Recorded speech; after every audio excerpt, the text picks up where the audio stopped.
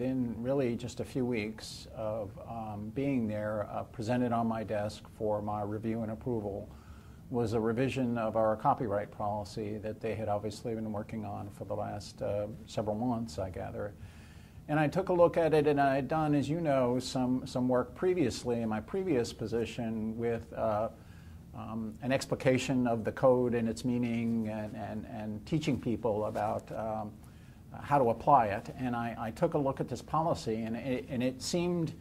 uh, to be at several le levels um, not at all applied to the kinds of new principles that I knew we were trying to enunciate and the principles we were trying to pursue. Um, so um, I drew upon that experience uh, from my previous position and uh, contacted all of you and uh, gracious enough to, to come and help us essentially do what I think of as sort of the, the second generation of the code work, which is basically to take this wonderful theoretical framework and principles and begin to actually apply it to put it in action in, in policy.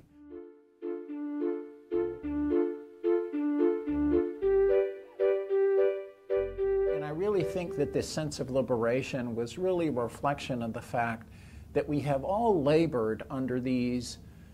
assumptions, if you will, and these pretexts about how to apply fair use that we've all known from the very beginning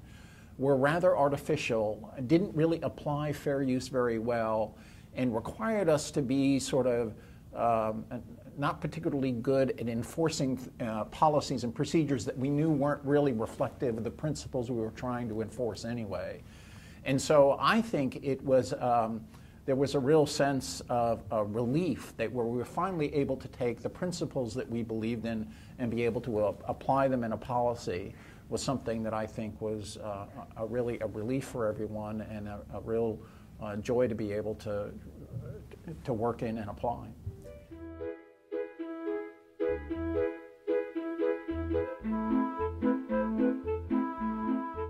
The legal context in which it um, it presents itself um, the foundations it has, really, we found went a great, a long, long way towards working with legal counsel who are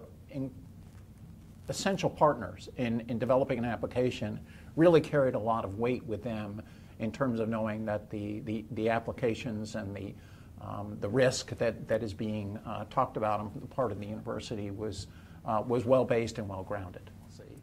And uh, pleased to say that uh, as a result of the discussion uh, with everyone involved, um, we were able to take the, the, the, principles that were outlined in the code and the concepts, and this is, I think, a great thing about them, about the code and how it's written, is it's, it's a really nice um,